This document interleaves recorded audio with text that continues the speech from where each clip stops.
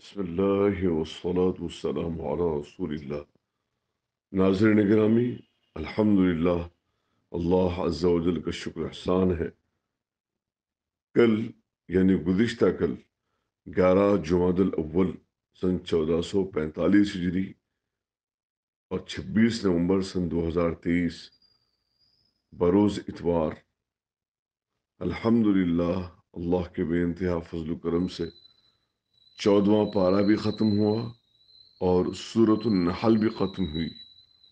اور آج بفضلی تعالی بارہ جماعت الاول سن چودہ سو پینتالیس ہجری اور ستائیس نومبر سن دو ہزار تیئیس پیر کا دن ہے۔ اور آج سے پندرہواں پارہ اور سورہ بنی اسرائیل شروع ہو رہا ہے۔ اللہ عز و جل آپ تمام کو جزائے خیر عطا فرمائے۔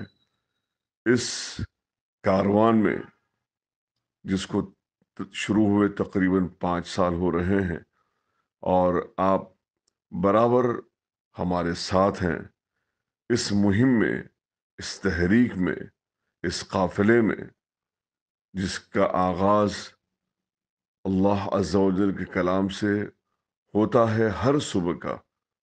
جس کا عنوان ہے، کیوں نہ آج کی صبح کا آغاز اللہ کے کلام سے۔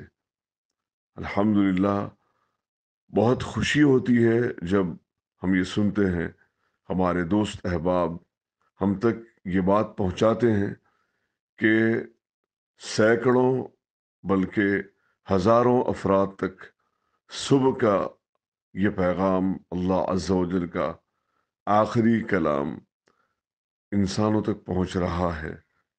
اور آپ برابر شانہ بشانہ ہمارے ساتھ ہیں۔ آپ سنتے ہیں، دوسروں تک پہنچاتے ہیں۔ اور حضور علیہ السلاۃ السلام کا ارشاد گرامی ہے۔ خیرکم من تعلم القرآن و علامہ تم میں بہترین ہے وہ شخص جو قرآن کو سیکھے اور دوسروں کو سکھائے۔ تو ہم آپ تمام کو مبارکباد پیش کرتے ہیں اور اللہ عز و جل کا شکر ادا کرتے ہیں کہ اس نے ہمیں اللہ کے کلام کو سننے، سمجھنے کی توفیق عطا فرمائی اور ہم اس کے پیغام کو ساری دنیا میں عام کرنے کی کوشش کر رہے ہیں۔ اللہ عز و جل ہماری اور آپ کی اس سید کوشش کو قبول فرمائے۔ اس کا اجر ہمارے والدین کو، اساتذہ کو اور تمام امت مسلمہ کو عطا فرمائے۔ جزاک اللہ خیرہ آپ اسی طرح بنے رہیں، اسی طرح جڑے رہیں اور جتنا زیادہ ہو سکے اس پیغام کو، اللہ عز و جل کے کلام کو آگے تک پہنچانے کی کوشش کریں۔ بلا لحاظ مذہب۔ جزاک اللہ خیرہ السلام علیکم ورحمۃ اللہ وبرکاتہ۔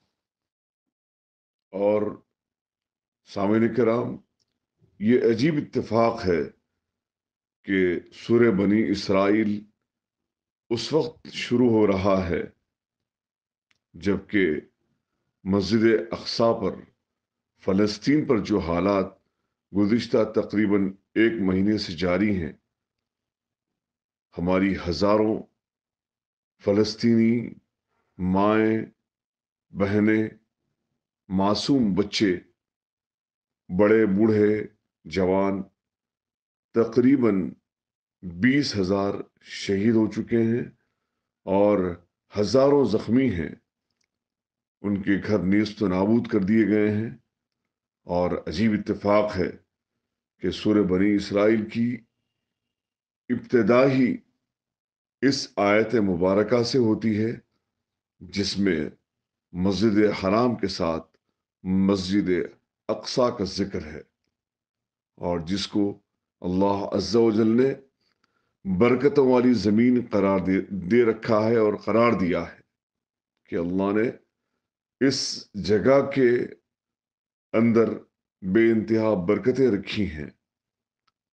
آئیے دعا کرتے ہیں کہ اللہ عز و جل ظالموں کو بالخصوص یہودیوں کو تباہ و تاراج کر دے اور فلسطینیوں کی مدد فرمائے، مسجد اقسا کی حفاظت فرمائے۔ اگر ہدایت ہے تو ان کو ہدایت دے دے، اگر ہدایت نہیں ہے تو ان ظالموں کو صفحہ ہستی سے مٹا دے۔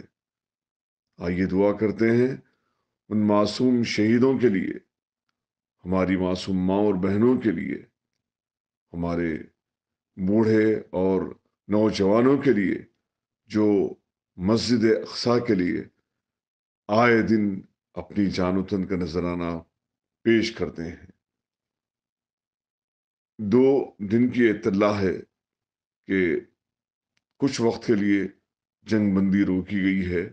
اللہ عز و جل سے دعا ہے کہ یہ جنگ بندی ہمیشہ ہمیشہ کے لیے ہو، فلسطین آزاد ہو، مسجد اقسا کی حفاظت ہو اور پھر ہماری جبینیں مسجد اقسا کی سرزمین پر نیاز، جبین نیاز ہم خم کریں، ہماری پیشانیاں سجدہ ریز ہوں اور ہماری پیشانیاں منور ہوں مسجد اقسا کے سجدوں سے۔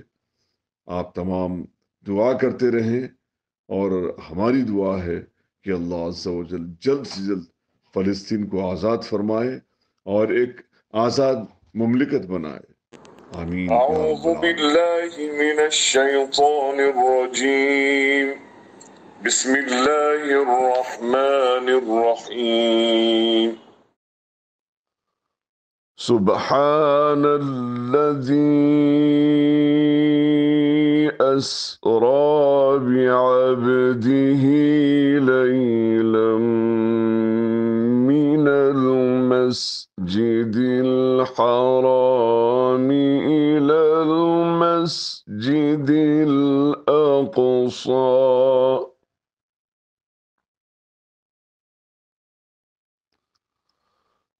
من المسجد الحرام إلى المسجد الأقصى الذي باركنا حوله لنريه من آياتنا.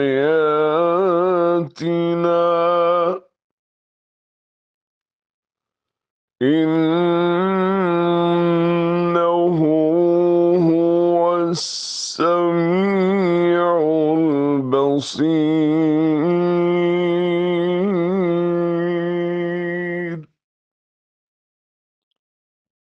ہے وہ، جو لے گیا ایک رات اپنے بندے کو مسجد حرام سے دور کی اس مسجد تک یعنی مسجد اقصا تک، جس کے ماحول کو اس نے برکت دی ہے، تاکہ اسے اپنی کچھ نشانیوں کا مشاہدہ کرائے۔ حقیقت میں وہی ہے سب کچھ سننے اور دیکھنے والا۔ Exalted is he who took his servant, that is Prophet Muhammad sallallahu alaihi wasallam, by night from Al-Masjid al-Haram to Al-Masjid al-Aqsa, whose surroundings we have blessed to show him of our signs. Indeed, he is the hearing, the seeing,